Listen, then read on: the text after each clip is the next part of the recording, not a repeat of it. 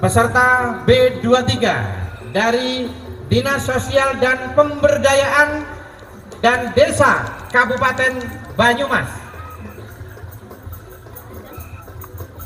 Dinsos Permasdes dipimpin oleh Bapak Arif Trianto Esos selaku Kepala Dinas yang berkedudukan di bawah dan bertanggung jawab kepada Bupati melalui Sekretaris Daerah.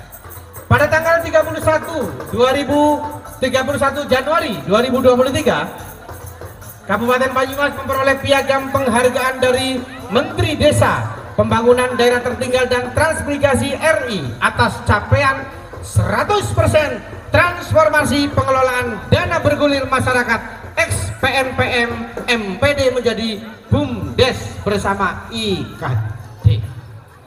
Kemudian kalung melati dan juga souvenir kepada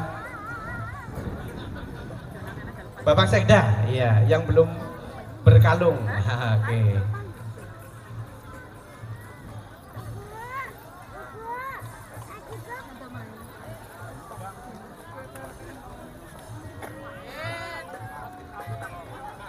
Ya, Dinsos Permasdes Kabupaten Banyumas menangani persoalan masalah kesejahteraan sosial atau PMKS antara lain pengemis, gelandangan dan orang terlantar atau PGOT.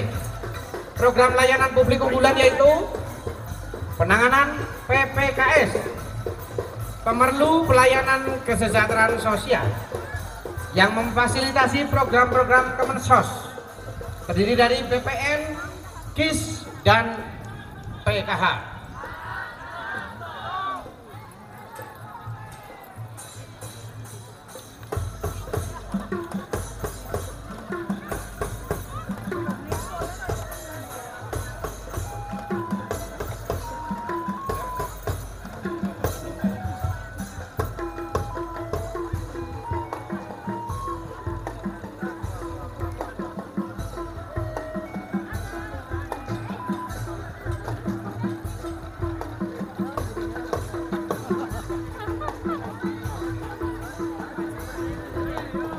Ya terima kasih kepada Dinsos Permasdes Kabupaten Banyumas.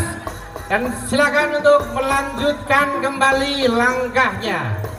Mitra strategis dari Dinsos Permades ada Tagana, ada PKH, ada TKSK, ada pekerja sosial atau relawan, ada unit pengelola keuangan, ya, dan juga ada paguyuban badan usaha milik desa atau BUMDes. Wah, luar biasa sekali.